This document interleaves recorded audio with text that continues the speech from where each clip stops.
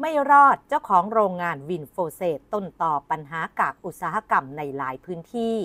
โดยล่าสุดเมื่อช่วงค่ำวันนี้ผู้สื่อข่าวรายงานว่า เจ้าหน้าที่ตำรวจสามารถติดตามจับกลุ่มตัวนายโอภาสบุญจันทร์ กรรมการบริษัทวินโพรเสสจำกัด เจ้าของโรงงานเก็บกากสารเคมีที่เกิดเหตุเพลิงไหม้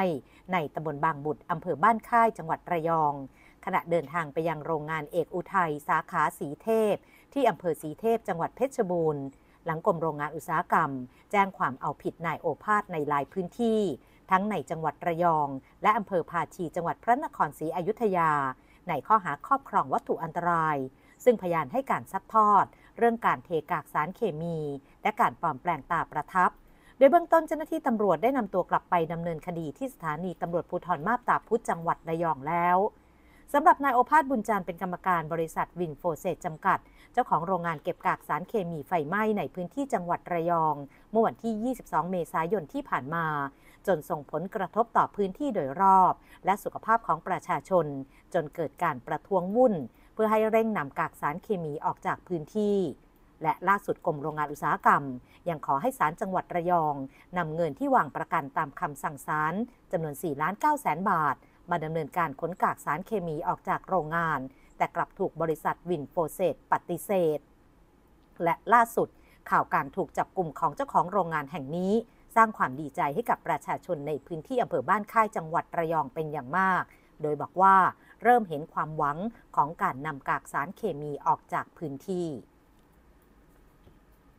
และล่าสุดพันตำรวจเอกกุลชาติกุลชัย รองผู้บังคับการตำรวจภูธรจังหวัดระยอง พร้อมด้วยพันตำรวจเอกปัญญาดำเล็ก ผู้กำกับการสถานีตำรวจภูธรมาบตาพุดได้นำเจ้าหน้าที่ตำรวจชุดสืบสวน เข้าตรวจสอบโรงงานวินโพรเสสอีกครั้ง ซึ่งตั้งอยู่ในซอยโขดโขดหินตำบลเนินพระ พบเอกสารมหาศาลอยู่ภายในโรงงาน จึงนำกลับไปตรวจสอบ ขณะที่นายดนัยณัฏฐ์ โชคอำนวยที่ปรึกษารัฐมนตรีว่าการกระทรวงอุตสาหกรรมพร้อมคณะ ได้เดินทางลงพื้นที่ติดตามความคืบหน้า ในการแก้ไขปัญหาโรงงานวินโฟเซตก่อนจะเดินทางไปมอบถุงอย่างชีพ ให้กับประชาชนที่ได้รับผลกระทบจำนวน 400 ชุดโดยนายนัทนายบอกว่าเบื้องต้นได้รับคำสั่งจากรัฐมนตรีว่าการกระทรวงอุตสาหกรรม ให้ลงพื้นที่ติดตามความคืบหน้า โดยเฉพาะข้อกังวลใจ เรื่องบ่อดักน้ำสารเคมี ที่ขณะนี้ใกล้เข้าสู่หน้าฝนแล้ว ขณะที่ชาวบ้านในพื้นที่พากันดีใจที่ในวันนี้ปัญหาโรงงานวินโพรเสสอำเภอบ้านค่ายจังหวัดระยอง อาจจะได้รับการแก้ไขโดยเร็ว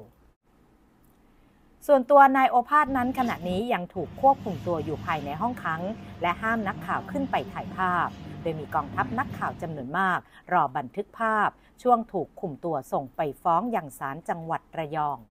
โดยมีรายงานเพิ่มเติมว่าในวันนี้เจ้าหน้าที่ตำรวจสภ.มาบตาพุดจะนำตัวนายโอภาสไปส่งฟ้องศาลจังหวัดระยอง และมีรายงานว่ายังมีหมายจับเพิ่มเติมอีก 14 คดี ท่านที่ท่านที่ปรึกษาห่วงห่วงเรื่องอะไรครับท่านครับก็เรื่องตอนนี้เนี่ยเป็นคำสั่งการท่านรัฐมนตรีพิมพ์พัฒนาวิชัยกุลให้ลงมาติดตามดูแลในเรื่องของปัญหาที่โรงงานมีโปรเซสนะฮะ ก็ตอนนี้เนี่ยมันเข้าใกล้หน้าฝนแล้ว เราต้องมีการวางแผนจัดการแบบบูรณาการครับครับท่านครับเรื่องทั้งทั้งเรื่องบ่อแล้วก็เรื่องทั้งเรื่องบอกทั้งหมดอะทั้งหมดทั้งหมดแต่ว่าด้วยเงื่อนไขในหลาย ๆ อย่างก็เราก็ต้องทำไปคือเราก็ต้องทำไปแบบว่าต้องบูรณาการทำไปเรื่อย ๆ แล้ววางแผนให้มันเป็นรูปแบบนะครับ เพราะว่ามันไม่ใช่มันมันเป็นเยอะอยู่พอสมควรสำหรับสารเคมีที่อยู่ที่นี่